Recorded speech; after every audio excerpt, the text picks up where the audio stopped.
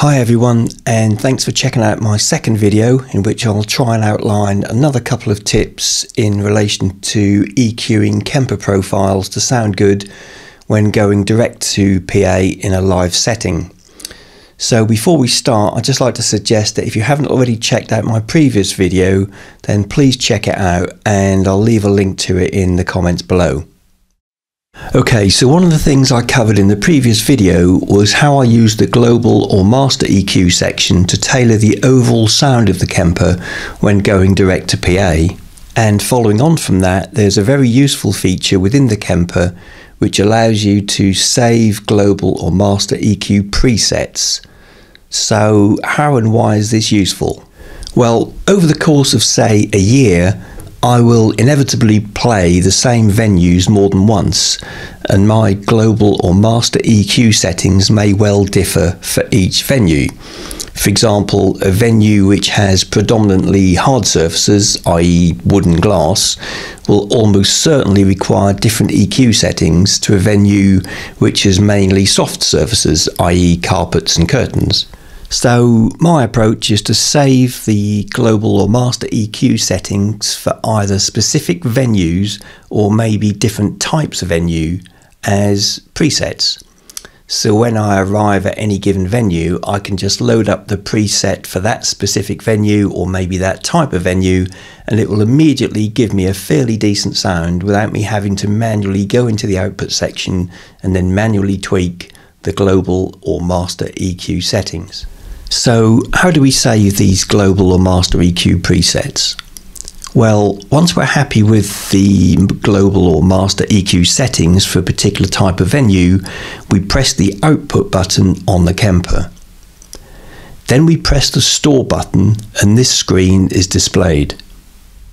Now press the soft button above where it says output section and now use the browse knob and knobs 1 and 4 below the screen to enter an appropriate name for this output preset.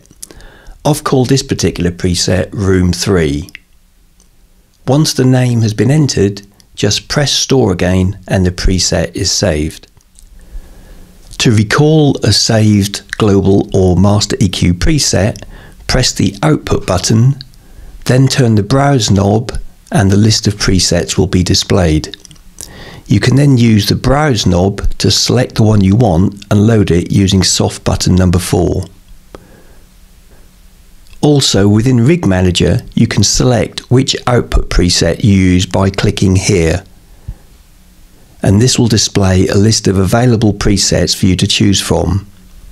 When you select the one you want, the EQ settings for that preset are automatically loaded into the Kemper.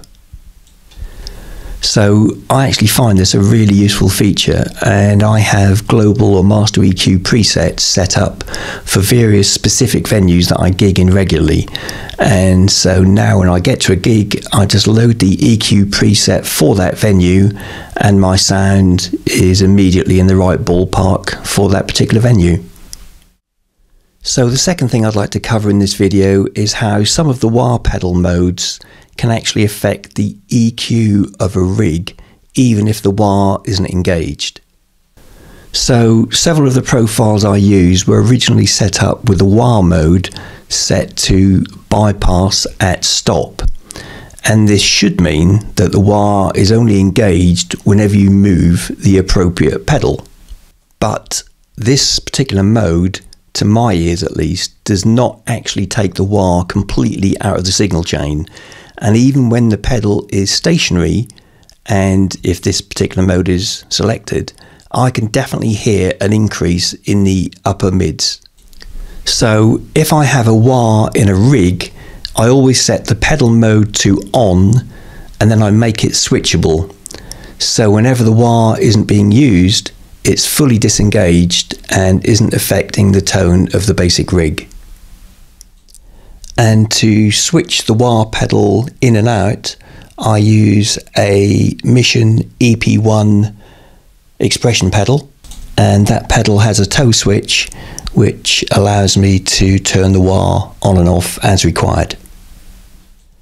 So that's it for my second video on EQing Kemper profiles and rigs and I really hope you have found some of the information here useful. Thanks for watching.